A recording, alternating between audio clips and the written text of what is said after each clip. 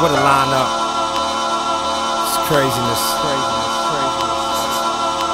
Yes, Time you ready? the game, the game, the game. Analogic.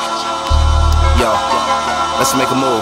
Uh, uh. It's Phonte and KO delivering that newborn shit. This verse is a Deo, so handle with care and keep your hands in the air when I'm on stage, handing my face doing the yayo.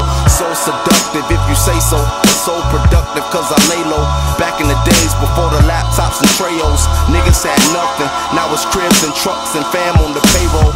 All cause we made the crowd say ho. With no tour support, a major label backing. I mean, without no upfront money, just back ends. Now the check is cut before the bus even back in.